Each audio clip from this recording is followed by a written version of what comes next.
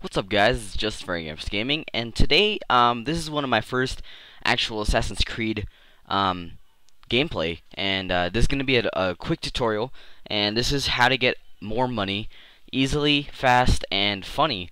Um, you're not actually allowed to, like, kill civilians in Assassin's Creed 3, but if you, if you press LT and you equip your fists instead of a blade or anything, you can actually scroll, or not scroll, but you can actually target um, a civilian holding LT with a little dot on the screen. And um, depending on, on Xbox or PS3, I am not an Xbox, so I use LT. I think it is the same thing.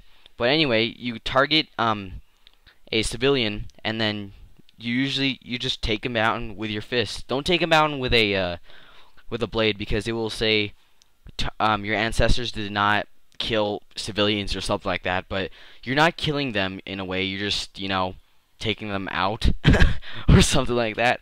But um, from there, you can just loot them and get the money, and it won't count anything. You can just keep doing that in a place where there's no guards, so try not to get caught like that. But that is a quick tutorial. More killing and stuff coming out pretty soon. I still have to make a base. Uh, new PvP series coming out soon, again. And I will see you guys later. Thank you guys for watching, and I will hope you guys have a safe, awesome, epic day. See you guys later.